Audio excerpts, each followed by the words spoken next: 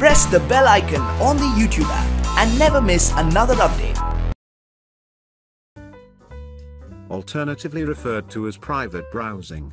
InPrivate browsing, private window and informally as porn mode, incognito mode is a setting that prevents internet history from being stored. For example, when you visit any web page, any text, pictures, and cookies loaded in the page is all stored on your computer. Additionally, any searches or forms that are filled out are stored in autocomplete fields.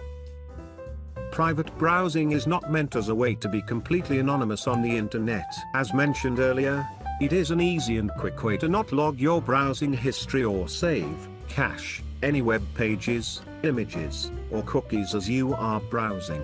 Below are some additional considerations to think about while in private mode. If your computer has any other monitoring software, for example parental control programs or keyloggers, they can still capture and monitor everything you are doing on the computer, even if you are in private mode. Monitoring can also be done at the network level, which means any school or corporate monitoring that may be running on the network could also capture any private browsing. Although nothing is stored on your computer in private mode, you are still not anonymous on the internet. Each page that you visit still recognizes your IP address. If someone had the ability to view your IP address history for legal purposes, an ISP, website, and even a search engine server log could be used to track you.